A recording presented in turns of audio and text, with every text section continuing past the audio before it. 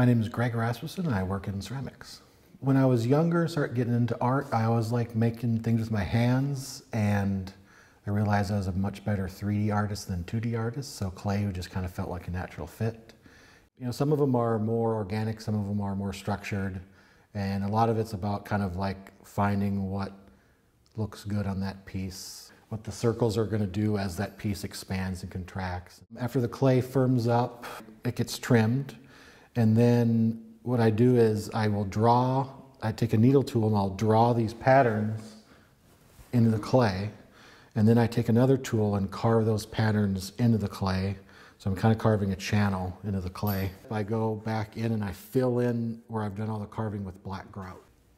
And just uh, kind of the designs and everything are, are pretty unique. Uh, so like my bigger pieces, probably 10 to 12 hours. Another reason I like the pottery is because I can kind of do some funky different designs but because it's on a pot and it's something that's recognizable to people, it's accessible. Whereas if I were to do maybe the same things on a painting, it might be harder for them to grasp to relate to that. When I was starting out, I knew that I wanted to start doing art fairs. I like it because it's like a very democratic system. Anyone can apply to these shows and they're neutrally judged. It's just, just on your work.